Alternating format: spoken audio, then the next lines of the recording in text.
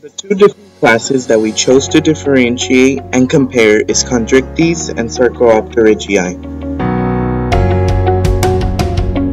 In class Chondrichthyes, their outer body structure is composed of tooth-like scales and their inside structure or skeleton is made up of cartilage, as opposed to Sarcopterygii, who have cosmoid scales but have a bony skeleton. For breathing, chondrichthyes have exposed gills that have no covering or operculum. Meanwhile, in the other hand, Sarcopterygii have an external of skin that covers their textile gills, which is the operculum. When digesting substances, chondrichthyes have a smaller size of intestine.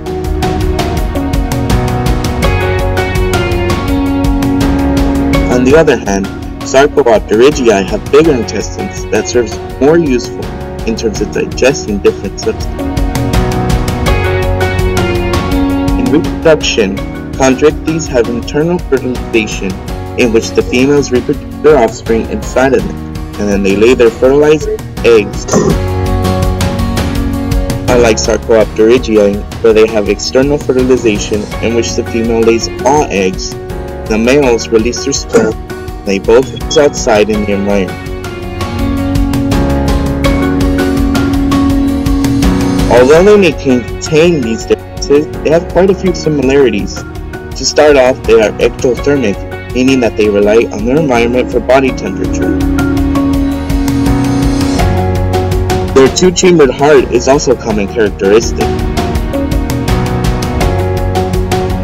Both classes have fins that also serve useful to propel move around in their surroundings.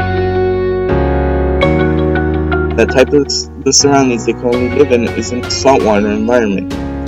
Last but not least, since both classes derive from spinal chordata, they have a backbone nerve cord that contributes to the brain or spinal cord development. All in all, both classes are unique and have may have different characteristics.